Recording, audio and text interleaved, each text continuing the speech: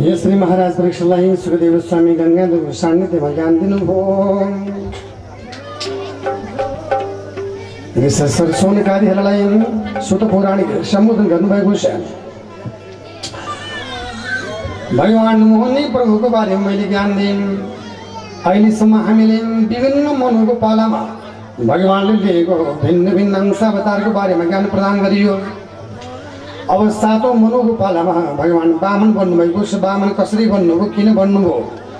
भन्ने विषयमा परीक्षणलाई सुखदेव स्वयं भन्नुहुन्छ। देवदानबाट हारेर गएका पलि लगायत दानवहरूले विश्व जितेकी गरेर शुक्राचार्यको सहयोगले विश्व विजयी गरे। त्यो देखेर दानवहरूको डरले भागाभाग गरेका देवता आमाको पासमा गए। आमाले बाबाको पासमा गएर देवताको बाबालाई बिन्ती गर्नुभयो लौत भगवान् लौत पतिदेव हाम्रो छोराहरू स्वर्गबाट बहिर्गमित हुने बेला भयो जाने बाटो पाइएको छैन। स्वर्ग संरक्षण गर्न के गर्ने हो? भन्दा देवताका बाबा कश्यप प्रजापतिले देवताकी आमा अतिथिलाई सन्तान पैदा गर्ने योजनाका लागि व्रत विधि सिकाइदिनु हो। यो सन्तान नहुने जसले पनि जान्नुपर्छ यो विषय भनेको छ। यो अत्यन्त उत्तम व्रत। यो व्रत फाल्गुन महिनाको शुक्ल पक्षको प्रतिपदाबाट गरिन्छ। जम्मा बाह्र दिने विधि यो। ध्यान दिएर सक्नुहोस् यसलाई भनिन्छ पयो व्रत पयो भनेको दुध दुधै खाने दुधले मार्जन गर्ने दुधले तर्पण गर्ने दुधले नुहाउने। प्रयोग गर्दा पनि दुधको प्रयोग गर्ने भागवत भक्ति गर्ने दान समर्पण गर्ने जे गर्दा पनि दुधले गर्ने। फेरि भैँसीको दुध होइन नि प्रशस्त गाई छ यहाँ अब व्रत गरेर पनि आनन्द भयो। फेरि काठमाडौँतिर बेच्ने दुध होइन नि? असली दुध बुझ्नु हो नि? दुधमा पानी हाले होइन पानीमा दुध हाले हुन्छ भन्थ्यो एउटा नि त्यस्तै। यहाँ चाहिँ त्यस्तो छैन है भगवान्।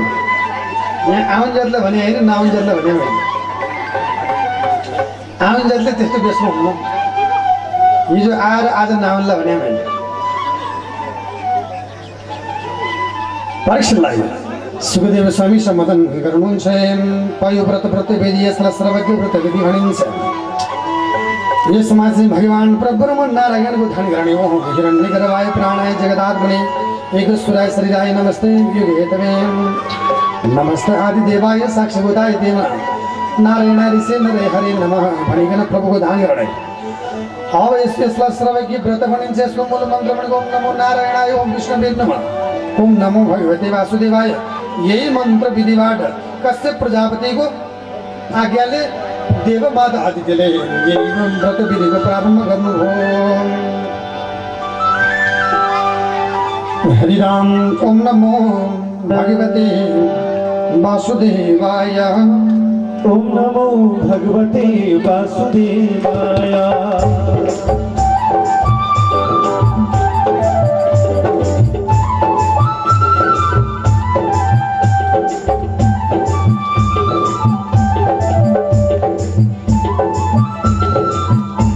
ओम भगवते वासुदेवाय ॐ नमो भगवते वासुदेवाय। वासुदेवाय।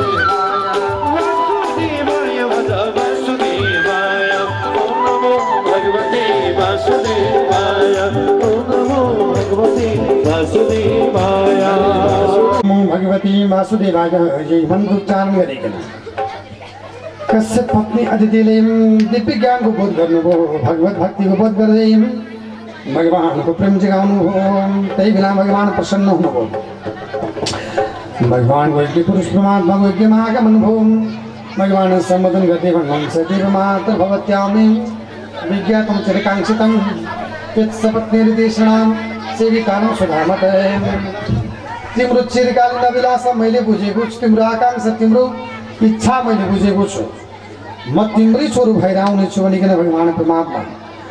देव माता अदितिको घरमा भगवान् प्रविष्ट भएर देव माता अदितिको घरबाट जब छ महिना परिपूर्ण गरिकन भगवान् परमात्मा। विश्व ब्रह्माण्ड नायक श्री हरि वासुदेव परमात्मा वेदको रक्षक। धर्म रक्षक भगवान्ले स्वर्गको रक्षाका लागि। बामन भगवान्को रूपमा प्राकट्य हुनुभयो आकाशबाट फुलको वर्षा हो भगवान् बामन प्रभुको जय जयकार हो। बामन भगवानको श्री भगवान् परमात्मा बामनको रूपमा आगमन भगवान्को भगवान्को भएको छ परिणाम गरेको राजाले यज्ञ समापन गर्ने यस्तो चिन्तन मनन गर्दै गरेको बेलामा भगवान् बामनलाई चुडा उपनयन समावर्तन व्रतबन्ध आदि काम सम्पन्न गरेर परमात्मा बामनको पूजन यजन ध्यान मन इत्यादि गर्दै भगवान् बामनलाई सबै जन उपासनापछि परमात्मा बामन राजा बलिको यज्ञ समापनको यज्ञ समापनको अत्यन्त दिव्य क्षणमा बलिको यज्ञशालातिर भगवान् प्रस्थान गर्दै हुनुहुन्छ भन्ने प्रसङ्ग यस अध्यायबाट विस्तार गरियो श्रीमद् भागवत महापुराणको सुखदेव स्वामीको समादरणीय भक्त सज्जन। हाम्रो बिचमा अर्को दानदाता आउनुभएको छ। अर्को व्यक्तित्व आउनुभएको छ आदरणीय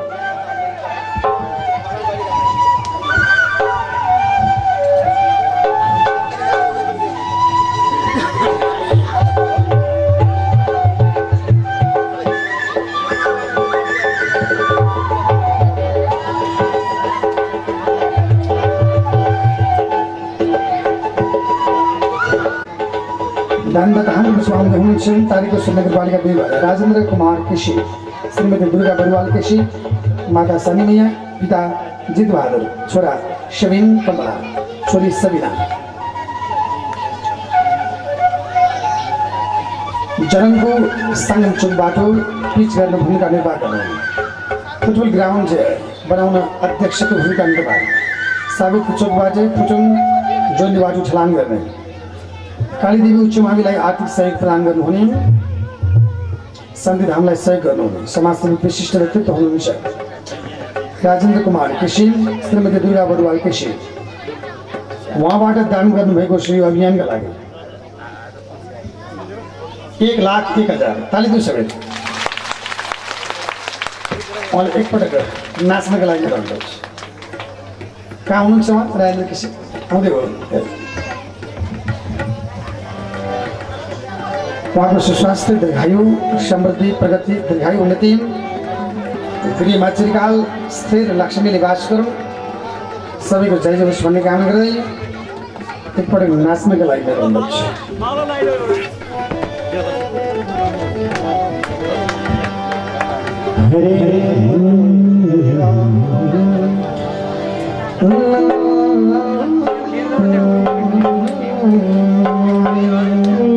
छँदै यही भक्त दान पुण्य गरेर मरेपछि लैजानु के छ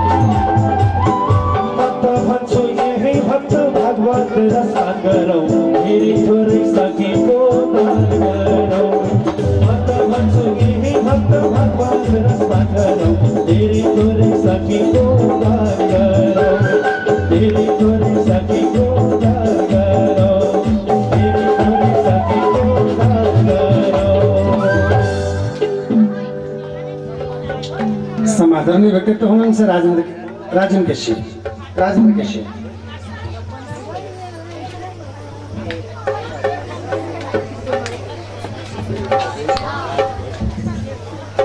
आदरणीय व्यक्तित्व हुनुहुन्छ श्रीमती दरु दुर्गा बरुवाल क्षेत्रीय।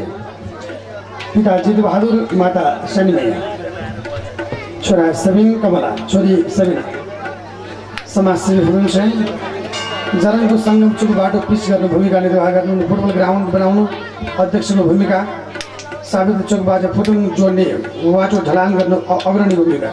कालीदेवी उमाईलाई सहयोग शान्तिधामलाई सहयोग समाजसेवी हुनुहुन्छ आदरणीय व्यक्तित्व। राजेन्द्र केसी मैले भन्नुपर्ने विषय केही पनि छैन। उहाँको नाच देख्नुभयो। देख्नुभयो नाच? यस्तो नाच त काठमाडौँ जिल्लाभरि कसैमा देखाएको थियो।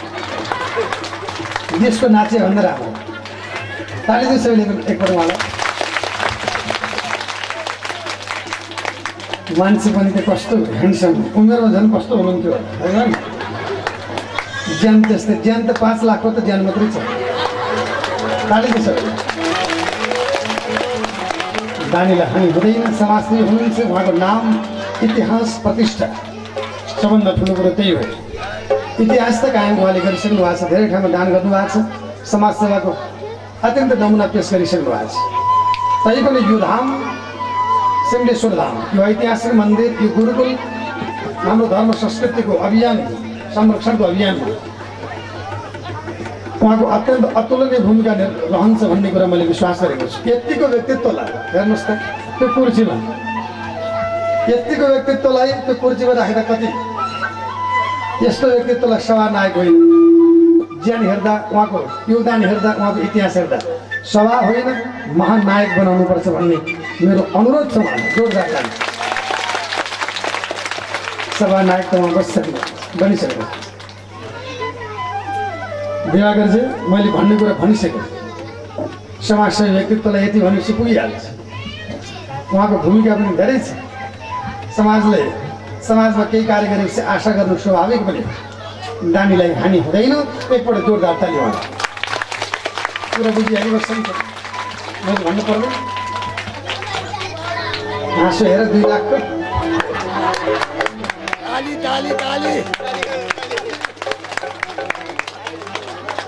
दिवाकर जी पछि अहिलेसम्म महानायक बन्ने कोही पनि आएको छैन है मौका यही भयो। हजुर